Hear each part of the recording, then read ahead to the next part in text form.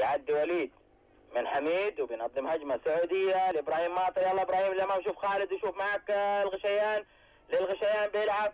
عالية داخل منطقة الجزاء تتلعب براس رجال المرمى يا سلام هدف سعودي بيسجلوا عبد الله الدوسري شوفوا عبد الله الدوسري طلع في توقيت جيد. والمملكة العربية السعودية هذه عادة مرة أخرى بالبطيء بالبطيء في المرمى بالبطيء داخل المرمى.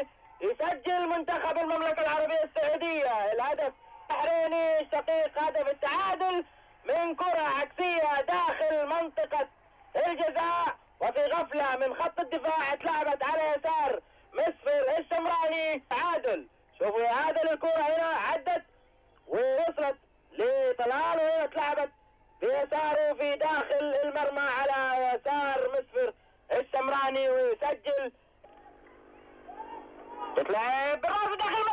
يا سلام يا خالد الشنيف خالد دعار خالد دعار. شوفوا خالد دعار. استغل ضربة الزاوية في الوقت بدل الضايع. وهذا الجمهور السعودي فرحان وبيسجل خالد دعار الهدف الثاني لمنتخب المملكة العربية السعودية. شوفوا خالد دعار هنا في ضربة الزاوية. هذه الكرة عالية هنا فوق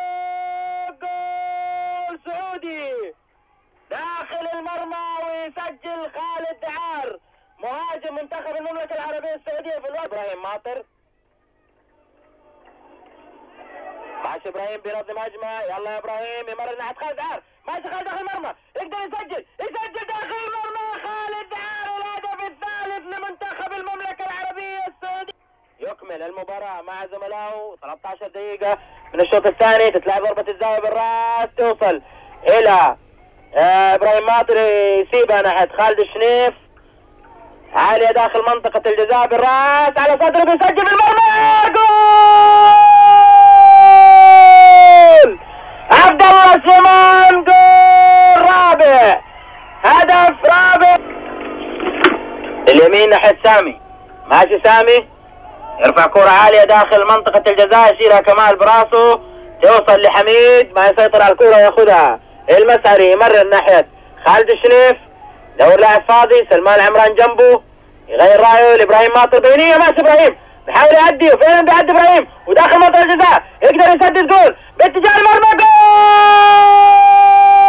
إبراهيم ماطر جول خامس أنا قلت يقدر يسدد باتجاه المرمى وفعلا يسدد ويسجل إبراهيم ماطر. الجماهير السعودية فرحانة.